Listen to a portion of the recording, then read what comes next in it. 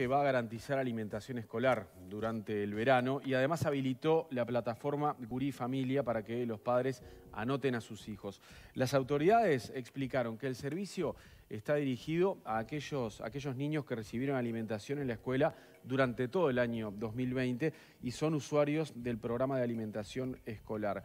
Vamos a conocer un, poco más sobre, sobre, este plan, sobre, sobre, cómo se va a dar eh, la, alimentación escolar en este verano y también haremos un balance de lo que fue este particular 2020, ¿no? con la pandemia y con la emergencia sanitaria. Estamos en contacto con Graciela Fabeiro, la directora de primaria. Graciela, bienvenida. ¿Cómo anda? Buen día, ¿cómo están? Muy bien, un gusto saludarla. Dale. Eh, ¿Cómo está funcionando ese programa de alimentación escolar en verano? Bueno, está en plena programación cerrando determinados aspectos, determinadas dimensiones y podemos decir que al, miércoles, que fue el último día hábil, teníamos 9.275 escolares inscriptos con 135 centros educativos, con los respectivos proyectos presentados, ¿verdad?, por los equipos docentes que van a tener a cargo el, grupo en cada escuela. Entonces, podemos decir que, que estamos trabajando en forma adecuada, en el sentido que ya está programada la alimentación, se está revisando la entrega de los materiales de higiene y de limpieza, se votó ya hace unos cuantos días una partida en dinero para que las directoras cuenten para alguna emergencia, además para materiales o para el contrato de alguna locomoción que necesiten fuera de lo que el, organismo puede aportar. Entonces se están este, ajustando datos sabiendo si tenemos claro que tanto lunes como martes, es decir, 11 y 12, va a aparecer, se va a acercar a las escuelas alguna familia, algún papá pidiendo ser inscrito porque no llegó a tiempo, porque no tuvo la información necesaria. Esto ocurre siempre, ¿verdad? Una cosa es el periodo que fue del 18 al 22, marcado formalmente, pero después en, los hechos, al estar las escuelas abiertas, se, acercan este, familias a preguntar y a inscribir. Así que consideramos que si bien este año fue más tardía la programación por todo el tema de la pandemia que nos estuvo, nos estuvo muy ocupados, ¿no? Con el cierre de los cursos, se, está, se va a llegar a tiempo en todas las dimensiones de, de las necesidades a cubrir para el 11 que empiezan los equipos docentes y el 12 los alumnos en cada centro educativo. ¿Cómo van a acceder los, los alumnos a, a, la comida? ¿Cómo no llevo a escuchar bien? ¿Cómo van a acceder los estudiantes a la comida? ¿A la comida? Sí. ¿A la alimentación? A la alimentación, sí. ¿A la alimentación en, la escuela? Sí. Ahora de verano va a ser en el comedor tradicional, convencional, como lo tienen, y algunas pocas escuelas van a seguir con el sistema tercerizado. Por ejemplo, en Maldonado hay tres escuelas que usan durante el año el servicio tercerizado porque no tienen capacidad de elaboración propia, y bueno, se va a seguir con el mismo sistema. Y en el resto, este, reiterando la estrategia que venían utilizando, si era comedor convencional, nuevamente comedor convencional, copa de leche y almuerzo. A partir de las 12.30 se termina la actividad pedagógica para dedicar de 12.30 a 13.30 el espacio para la alimentación de todos, tanto los alumnos como los adultos que están en cada centro educativo.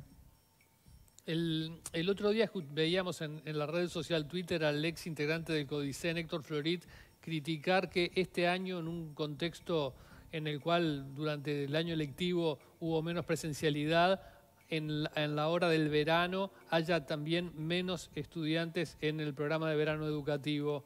Eh, ¿Por qué ocurre eso? Este, esta escuela de verano tiene una modalidad diferente, ¿verdad? La dimensión socio-recreativa, que era la que imperaba en, en las ediciones anteriores, en esta es diferente. Va a estar presente en los aprendizajes, pero está focalizado en la enseñanza, en el sentido de que de reforzar a aquellos estudiantes que tienen aprendizajes descendidos o comprometida la promoción aún para trabajar el área de la lengua, de las ciencias, del pensamiento científico, de las habilidades socioemocionales. Entonces cambió la dinámica. Pensemos además que estamos en plena pandemia, donde las familias también toman decisiones de cuidado y de resguardo de la propia burbuja. Entonces, todos los alumnos que se acercaron, todas las familias que fueron a inscribir, están todos ha disminuido, estamos con 9.275 este, algo en la matrícula, por la situación particular. Y se presentaron 142 proyectos, al final quedaron 135 aprobados y en ejecución, porque tampoco hubo más demanda o más este, oferta de proyectos por parte de los colectivos docentes. O sea que no hubo un recorte de los cupos, sino que directamente no se anotaron familias, las familias no fueron a anotar a, los niños. No, recorte no. Eh, primaria cuenta con el respaldo que aporta a la ciudadanía a través del impuesto de educación primaria.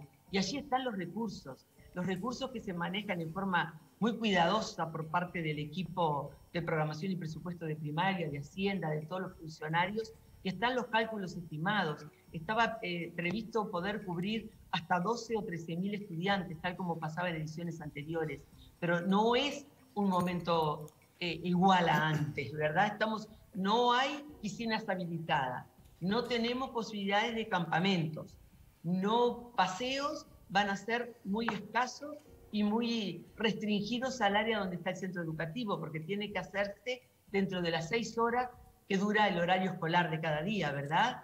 Entonces, todas estas restricciones, que son restricciones de algún modo, pero que son en favor de cuidar la salud, tanto de los estudiantes como las condiciones de trabajo del equipo que está en la escuela. El cuidado de todos.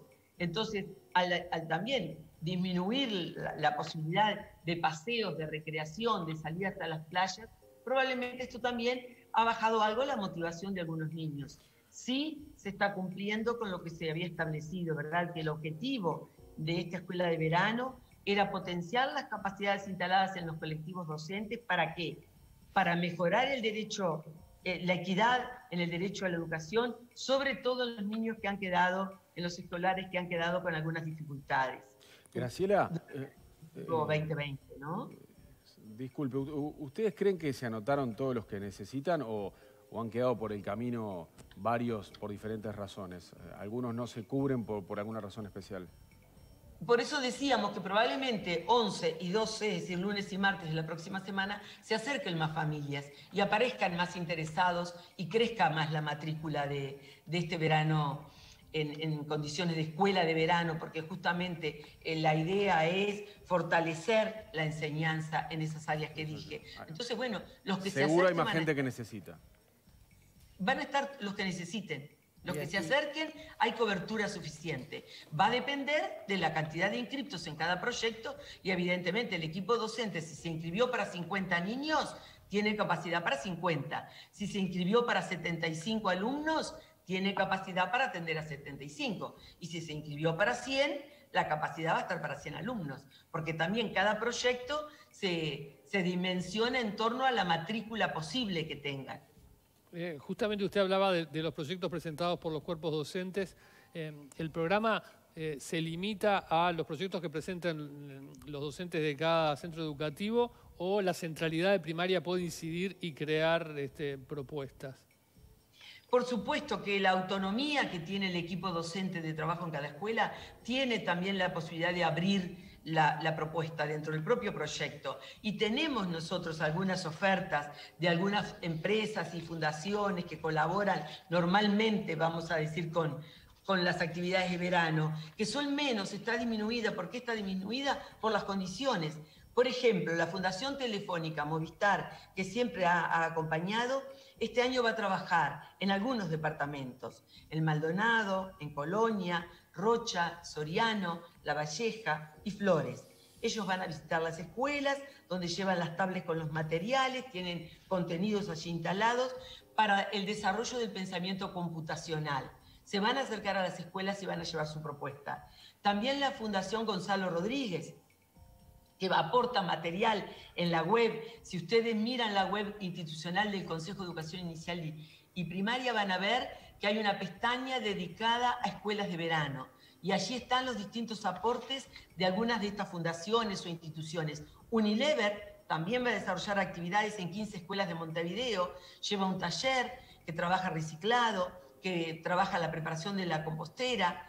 Y tenemos que decir que además Unilever va a donar las 5.000 túnicas que tradicionalmente lo ha hecho, va a entregar 15.000 kits de higiene personal y 1.500 gorros con alas ¿Por qué gorros con alas? Porque para el cuidado del verano, para las escuelas en que trabaje. Y también la Comisión Honoraria de Lucha contra el Cáncer, que siempre sus dinamizadores visitaban y trabajaban las escuelas, esta vez lo van a hacer a distancia. ¿Por qué? Bueno, por el cuidado que hay que tener, porque también pensemos que si bien hay talleristas invitados que se acercan a los centros educativos, va a ser el, equipo docente el que va a determinar la cantidad de esos talleristas, las condiciones, tienen que estar controlados, ¿verdad?, en la higiene, incluso tomar los datos de cada persona que se acerca a la institución educativa por cualquier eh, situación que haya luego tener que hacer seguimiento. Piensen que hay que hacer una higiene constante, entonces cada persona que entre de fuera de de ese equipo docente tendrá que cumplir también este, muy rigurosamente con los protocolos establecidos. Eh, ¿Y en este verano educativo van a tratar de suplir la falta de aprendizaje que hubo en 2020 por la pandemia?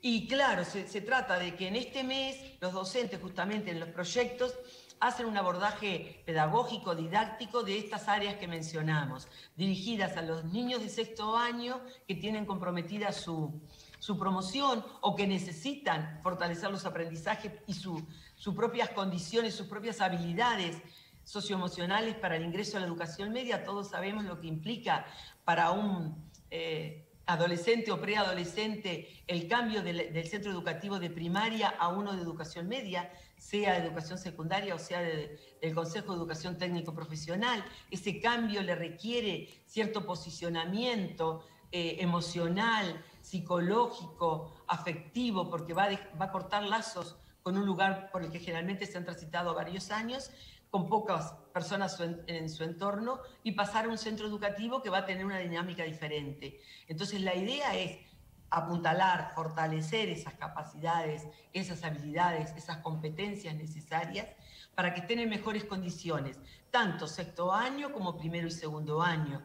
Ustedes saben que sexto año los resultados fueron muy similares a todos los años, no hubo un gran desfasaje en, promoción y repetición. En primero se nota un poquito el aumento de, la repetición, pero también hay escuelas que van a trabajar en, verano educativo, que, digo de algún modo, que van a utilizar la escuela de verano durante este verano, ¿para qué?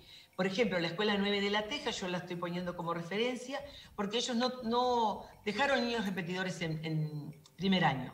Consideraron que no, no era eh, pedagógicamente, era mejor pensar la unión del 2020 con el 2021. Y van a trabajar por ciclo el próximo año. Entonces, esos alumnos de primer año, algunos que tenían, que podían tener comprometida la repetición, en el segundo año, en el 2021, van a haber fortalecido sus aprendizajes, van a ser apoyados de otro modo. Entonces, cada escuela también, no solo la escuela de verano, sino la escuela de, común del año lectivo, va están pensando estrategias, implementando, más allá de todo el acompañamiento, más allá de todo el apoyo en el tránsito educativo que está, se está trabajando desde Codicen, ¿verdad?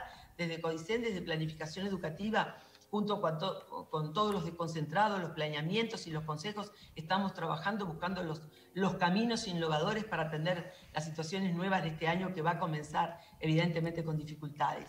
Entonces sí, la idea es fortalecer esos aprendizajes que pudieron quedar comprometidos o que algunos contenidos programáticos no se pudieron trabajar en profundidad. Bueno, los proyectos presentados en cada centro educativo que va a estar abierto a partir del lunes tienden a eso, a mejorar esos niveles de aprendizaje o niveles de desempeño, como llamamos hoy día, ¿verdad? ¿Y qué criterio aplicarán para decir esto se hace virtual y esto otro se hace presencial durante el verano?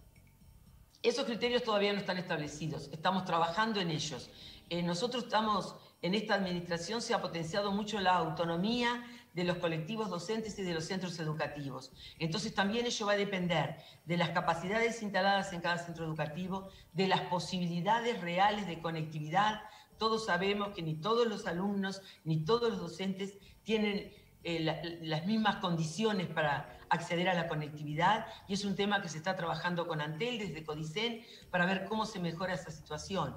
Es decir, se están tomando algunas previsiones para mejorar lo que fue la virtualidad este año, ¿no? Pero evidentemente que vamos a vivir un modelo mixto, complementario, híbrido, como lo queramos llamar, pero vamos a tener que trabajar con presencialidad y con virtualidad. Y en eso se está buscando caminos, estrategias para fortalecer también esa posibilidad, trabajando muy fuertemente con Ceibal, A partir del 25 de enero empezamos las reuniones de trabajo fuerte, ya tuvimos de cierre de año, tenemos varias tareas cada, cada consejo para este, cumplir para, para esa jornada del 25 de enero, poner en la mesa las necesidades y las posibilidades de cada uno de los consejos o de los niveles educativos, porque no estamos trabajando fragmentariamente, sino que estamos trabajando en clave ANEP, entonces hablamos de distintos niveles educativos y estamos trabajando con, con Ceibal en este sentido. Usted acaba de mencionar, eh, Fabeiro, que el año, va, el año 2021, el ciclo lectivo 2021 va a empezar con dificultades. ¿Cuáles son?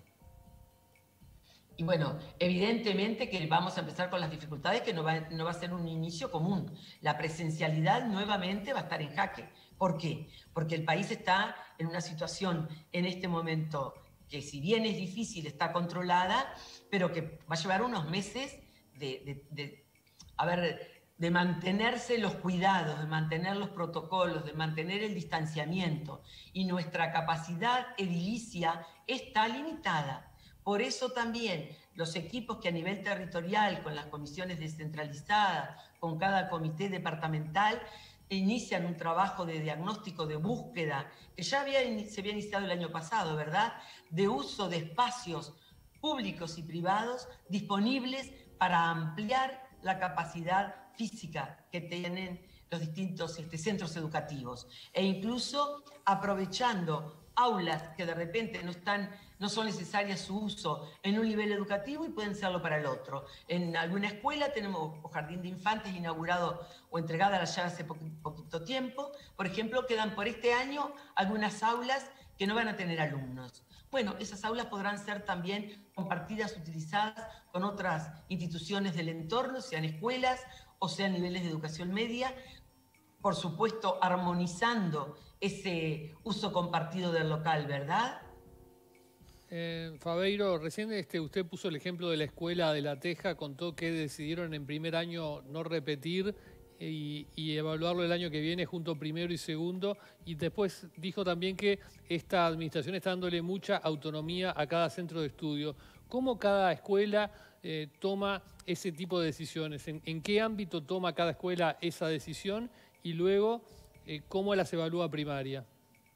Por supuesto que cuando hablamos de autonomía es en el marco de la normativa que nos rige a todos, pero además en el marco también de, las resoluciones y recomendaciones emergentes de inspección técnica. Ustedes saben que primaria tiene un, un, conjunto de más de 240 inspectores que conforman el cuerpo inspectivo, que va desde el inspector de zona hasta la inspección técnica. Inspección técnica con el equipo de, la inspectora técnica, que es la magíster Selva Pérez, junto a los cuatro inspectores generales que conforman la inspección técnica, están permanentemente evaluando, permanentemente en contacto además. Por ejemplo, el, lunes o martes tuvimos este, un, buen tiempo, unas cuantas horas en contacto con todo el país, con los inspectores de todo el país, trabajando para escuelas de verano. Pero esto se hace frecuentemente durante el año para ir construyendo estrategias y construyendo además dispositivos que algunos son generales, están enmarcados por supuesto en determinadas normativas, pero que luego la capacidad y la necesidad de cada escuela y la realidad, porque hay escuelas de tiempo completo con un número de alumnos que permite llevar algunas innovaciones, hay otras escuelas de tiempo completo que son más numerosas, que tienen mayores dificultades en, el uso de las aulas, incluso por espacio, y todo ello, cuando hablamos de autonomía, es en ese sentido. No es que cada centro educativo vaya por, un camino particular que, que lo diseñó y no está en consonancia con el resto. No, no. Hay normativa, hay disposiciones generales desde el punto de vista organizativo, desde el punto de vista normativo, desde el punto de vista didáctico. Esto, incluso la evaluación, los niveles de desempeño son estipulados en forma conjunta por el cuerpo inspectivo, lo va revisando el Consejo y dando el aval. Pero Entonces quiere decir que cuando hablamos de autonomía es en el marco de algunas disposiciones generales que hay que cumplir, por supuesto, como un organismo con determinada este, organización y jerarquización, como eh, les decía los inspectores, ¿verdad? Cada escuela tiene un conjunto de inspectores que supervisan, que orientan la tarea y que avalan las propuestas. O sea, lo toma, la decisión la toma el director de la escuela en consulta con el inspector y eso luego lo evalúa primaria o hay otro mecanismo en la escuela distinto a la decisión del director? Siempre lo toman en equipo con el cuerpo inspectivo. Si bien nosotros hablamos de la autonomía de los centros, siempre está el cuerpo inspectivo, que puede ser el inspector de educación común, el inspector de educación especial, el inspector de educación inicial, el de educación física, el de educación artística. Todos estos equipos avalan, construyen juntos, orientan y van incluso redireccionando porque eh, la educación tiene esto, ¿no? Bueno, y la vida toda hoy, este, esta dinámica, este cambio permanente, hace que haya que ir haciendo ajustes permanentemente. Esas eh, retroalimentación que se, que se genera en los centros educativos de parte del equipo que, está de la comunidad educativa, por supuesto que tiene la orientación, eh, la supervisión y el aval del cuerpo inspectivo. Se conoció en las últimas horas el plan de vacunación contra la COVID-19 y los maestros no figuran entre los primeros, aparecen en una fase posterior. ¿Esto está bien o usted considera que debería revisarse? Mira, fue, fue una noticia, un enunciado. Yo todavía no conozco la realidad tal cual va a operar. Considero que, el equipo sanitario es quien tiene la, la, la, potestades y la profesionalidad necesaria para tomar decisiones. Si desde esos equipos se considera, bueno, que primero van otros profesionales u otros cohortes etarios debe estar este, basado evidentemente en estudios epidemiológicos y demográficos importantes. Graciela Fabeiro, directora de primaria. No sé si quedaba alguna pregunta, muchachos. No, si súper completo. Gracias por estos minutos. Que pase bien. Muchas Agradecerles a ustedes. Cuídense mucho. Gracias. Muchas gracias. Muchachos.